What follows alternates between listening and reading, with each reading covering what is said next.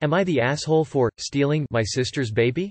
My F29 little sister, F21 we'll call her Jane, has a 14-month baby girl. We'll call her Sarah, whom I have had custody of since late June of 2022. Jane was divorcing her husband, jobless and homeless.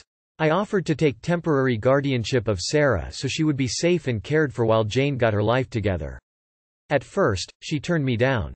However, after Sarah was dropped off to our mom's house in dirty clothes and an old diaper by a stranger, while she was supposed to be under the care of her father, Jane agreed to give her to me and my wife. Now we made clear that it would be temporary and that Jane would still have full access and could get Sarah back whenever she felt ready. However, during the last six months, Jane has completely disappeared from Sarah's life. She doesn't ask about her, she doesn't make any effort to visit her. She doesn't ask us to bring her to visit. She has gotten a job and a, an unsafe, place to stay, yet hasn't offered to take any financial responsibility, not even in the form of buying her gifts. She doesn't call to talk to her or see her. I spoke to Jane recently about all this, and her defense is that it's too emotionally hurtful to see Sarah because of how much it hurts and how much she misses her. Her other excuse is that she doesn't have a car or enough money to buy Ubers or diapers. I told her how absolutely ridiculous all that is. You don't need a car or money to call or text. We have always made clear we'd be willing to bring Sarah to her, and she spends a wasteful amount of money on food and vapes. Even after speaking to her about the things she should or could be doing, she still has made no changes. Because of this, my wife and I have decided to look into our legal options for adoption. Sarah has legally been abandoned, and we only need to keep her a little longer before the courts would allow termination of Jane and her husband's rights. Husband is even more MIA than Jane is. Jane is livid about this and is threatening all kinds of things, but has done nothing. Important information. After I offered origami and before we actually got physical custody of Sarah, my wife and I attempted IVF and failed. We hadn't told anyone about this, even family. However, I told Jane about this on day one just so that there would be full honesty and so that none of this would seem sneaky if it were to come out later. Jane is bringing this up in a very hurtful way during all this saying that I am trying to steal her baby since we can't have one of our own. We have one adopted son already. This is very far from the truth. We are genuinely worried about the safety and well-being of Sarah if she were to go back to Jane. And the fact that Jane has essentially ghosted her baby. We feel we have every right to pursue permanent guardianship and adoption. So, am I the asshole? Edit 1. As several people have asked, why don't I take in my sister too? I don't have space or money for an adult. Sarah has a bed in our room, and we spend about $700 a month on her. There is no way we could cover an adult, too. And even if we could, she is not someone I would live with. She is a very unclean person, doesn't shower or wash her clothes, and hangs out with junkies and other questionable people. She lost her last living situation because her roommate was arrested for possession of meth in the home. My wife and I have a seven-year-old son, and now Sarah to protect. Edit 2. In regards to the $700 a month, that is an average. She came to us with nothing. We had to buy clothes, bottles, formula, a bed, a car seat, a stroller, etc. Now that a lot of the big stuff is out of the way, it's not so bad, but babies kids are expensive. She's growing fast, so clothes are a constant as well as dappers, wipes and medical care. Additionally, I'm including all the legal fees we've paid. We count everything because we're keeping all receipts as part of proof of Jane's abandonment of Sarah. My state calculates the financial side of abandonment as a certain percentage of total expenses. Edit 3. And this may come off a little aggressive. I certainly don't mean it to be. At what point is reunification just a nice way to say, ripped away from the only family, home she's ever known? It's a sweet sentiment and all, but Jane is a stranger to Sarah, and she is making no effort to change that. Years from now, when Jane finally gets it together, we're supposed to just give Sarah up? Even if we did a slow integration, how could that possibly be less traumatic than staying in her home with her family? If she was a little older and knew what was going on and could remember her mom despite being no contact for six months, that would be one thing. But she's an infant that has bonded to us the way infants are supposed to bond with their family in order to have secure attachments now and later in life. I truly, truly love my sister, and I really want her to straighten up and live a happy, healthy life. But the decisions she has made over the last six months are not ones that can be taken back.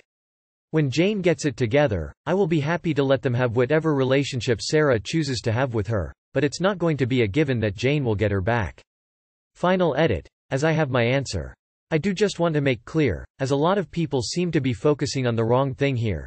The issue is not that Jane hasn't been able to get her life together in only six months. She has been through hell and back, and I'm very sympathetic to that. I understand it takes time, sometimes even years to fix. The issue is that she has completely stepped out of Sarah's life. She has ghosted her, she has given up all responsibility and contact, and she is a stranger to Sarah. Sarah doesn't even recognize Jane in any way. The issue I am talking about with Jane and why I feel we should pursue adoption is because of the utter abandonment Jane has shown over the last six months. Not the asshole I am an adopted kid. My mom was a drug addict and knew she wouldn't get her life together. Look, wait until she can legally sever ties and don't bring this up again. Keep track of every time you reach out asking for assistance or offer to take the wee baby Sarah to her mother and she refuses or misses an appointment in CA it's 15 months to sever ties. Do not leave her unsupervised. Once you hit your state's threshold, lawyer up and make your case. If legally you already have temporary custody, a good portion of the battle is won. It's better to maintain the status quo and peacefully win the war than preempt an uphill battle in family court. Bide your time, make your case open and close, and then formally adopt your daughter. I wish you all the best. Am I the asshole for not letting our kids eat my wife's cooking? Throw away. I, 34 male, have a wife, 32 female. And we have two children 4 female and 7 male. I work as a manager at a care home and my wife owns a bakery with her mom. My wife cooks all the time because she is much better at cooking than I am. I cook sometimes. She is the one who takes care of the house, kids, and chores. Yesterday when I came back from work dinner was ready so I plated it up for everyone while my wife was washing her hands. My kids like their food cut up, I was cutting their chickens into pieces and it looked a bit pink I told my wife to look at it and she said, it's a little pink but it's fine. I told her I'm not letting them eat this if it's pink. She told me to stop being a baby and it won't kill them. I kept telling her it's pink in the middle they shouldn't eat that they can get food poisoning and that's it's dangerous for them. She told me, if you don't want them eating it then you can cook their dinner. I made them cheese and ham toasties, also made her one but she didn't eat it. She told me she isn't talking to me if I think her cooking is horrible. I don't think it's horrible I just didn't want our kids eating that. I told her to stop thinking she was right. So am I the asshole? INFO. Why didn't you just put the chicken back in the oven? In the meantime, you are the asshole. Pink chicken is not dangerous if the internal temp was high enough. Also, instead of just saying, oh honey, I am worried the chicken is a little pink, can we cook it just a little more just to be safe? You went all the way. I am not serving that to the kids. And made a new meal altogether. Edit just for people that don't know how to cook. Chicken has to reach a temp of 165 degrees.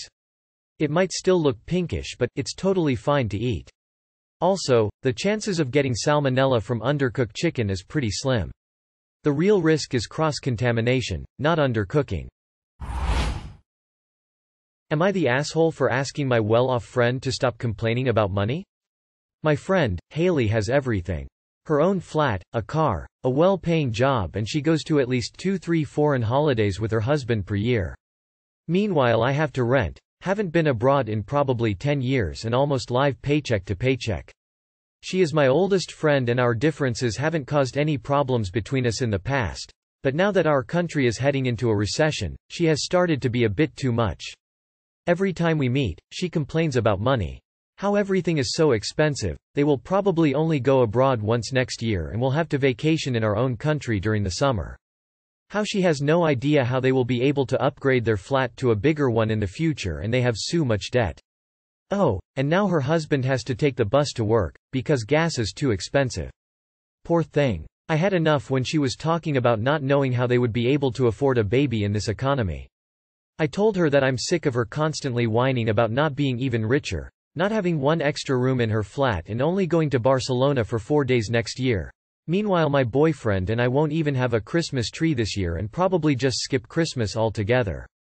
She told me she had no idea I think of her like this and she can lend me some money if I need it, then proceeded to play the victim, told me that she is not rich at all. She lives in the same world as I do and inflation is affecting her too. How is she not rich at all, but has no problem lending me money? I told her that our struggles are not the same and her comparing them to each other is a slap in the face. This was a few days ago and I calmed down a bit since then. Everything I said was true. But now I'm thinking I might have been a bit too harsh on Haley and maybe she truly is just too privileged to see my point and can't help it. Am I the asshole? You are the asshole. I understand your frustration. I've been around people like her, too. But, you should have explained to her nicely your perspective and how her complaints made you feel instead of vilifying her, ignorance. She sounds like she'd understand you based on your story. And, inflation does affect everyone. It's a B, H. Am I the asshole for flipping out on a dog owner for ruining lunch? This happened about an hour ago at the time of typing. I have a three-month-old and wife is still on maternity leave. They came to visit me at work and brought Chick-fil-A for lunch. There is a canal area that has half a dozen decent-sized grassy areas with benches. There is a walking path along it that gets a decent amount of traffic. We find a completely empty grassy area with a bench. There is no one around and it's really nice out. My kid is sitting in the stroller just being chill. I'm talking to both my kid and wife while we are eating. My kid starts crying and I pick him up to soothe him. I see an over 50 guy walking by and he is eyeing us. Figured he was looking at my kid since he was crying. When all of a sudden a maybe 5 pound unleashed dog comes up and licks my wife's ankle. This scared the shit out of her. We are not exactly dog friendly. Neither of us grew up with dogs and have zero interest in owning, let alone interacting with them. Then a second small dog walks up to us. I turn to the guy and say get your dogs away from us. He just looks at me with this dopey look on his face. So I say it again. He half-heartedly tells the dogs to come to him. They don't listen to him. I'm like come on man, get your effing dogs away from us. We are eating lunch and don't want them around. My kid is still crying. My wife asks him to get them away too. He says to me, you don't like dogs? I'm just like no, I don't like dogs, I also hate bad. I used a worse word. Owners like you that don't leash their dogs and let them rudely walk up to people. I don't want your dogs around. He tells me I don't have to be so rude. I responded back with you are the effing prick that decided to let your dogs occupy the same 10 square feet as us despite there being other areas to go. If you wouldn't have bothered us, I wouldn't be flipping out on you. He looked shocked that someone didn't adore his dogs and walks away muttering at me under his breath. So am I the asshole? Edit. This is not a dog park, or even a regular park. Just an area with multiple grassy areas. There is a lot of signage to pick up poop and leash your dogs. Not the asshole. Leash laws exist for a reason. Not everyone wants dogs in their space. People have phobias, and allergies are a thing so for multiple reasons it's irresponsible to have them off leash in the same area as others without knowing if they're dog friendly. The fact that you had to ask multiple times and he seemed bewildered that he was in the wrong is aggravating and you're not obligated to be nice to people who don't have any respect for others in public. Not the asshole. He needed to have his dogs leashed. You have no idea if they have food aggression or are friendly or not. Absolutely hate irresponsible pet owners who do this. Not the asshole. So sick of entitled dog owners ruining public spaces. NTA. Most places have leash laws. You did ask nicely, like three times. A good dog owner would have pulled their dogs back after the first time. Actually, good dog owner wouldn't have needed the first time because they would have them on a leash.